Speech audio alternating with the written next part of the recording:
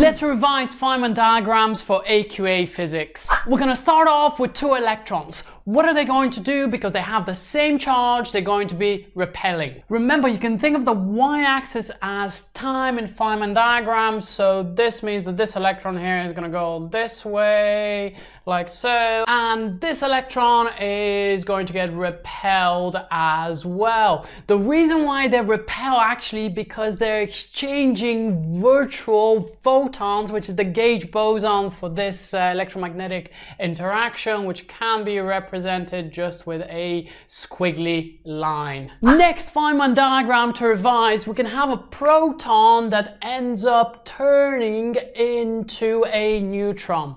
Now we need to conserve charge. The total charge before was positive. This means that we need to have something positive as well since the neutron is neutral and this positive particle will be the W plus boson.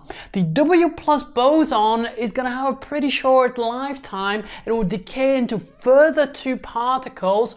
One of them will be the positron, and then the other one will be the neutrino or the electron neutrino more specifically. We can also have a neutron that may turn into a proton. Anytime that we have some quarks changing flavor and a neutron turning into a proton or a proton turning into a neutron, it is a weak interaction. So we're going to need to have something negative here because the neutron is neutral, this thing is positive, so the charge before and after should be zero.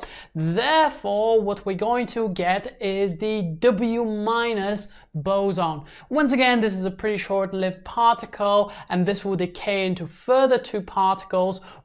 Of them is going to be the electron and if I have a normal particle here, that means that I need to get an anti-particle as well, which is the anti electron neutrino, which will be going this way. And this here is beta minus decay. You also need to know the Feynman diagram for electron capture.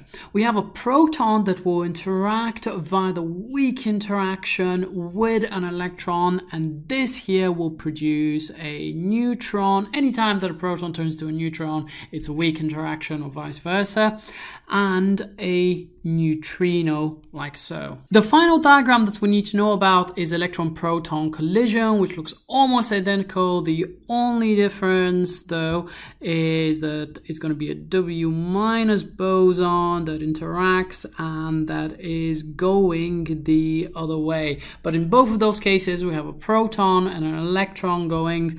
Um, in the electron-proton collision we have a W minus here. In the previous one we had a W plus and uh, we're with with a neutron and an electron neutrino. Feynman diagrams are only a small portion of the story and in order to ensure that you score maximum grades on particle physics, have a look at my entire video in which I cover all of the spec points of all of AQA particle physics in only around 40 minutes.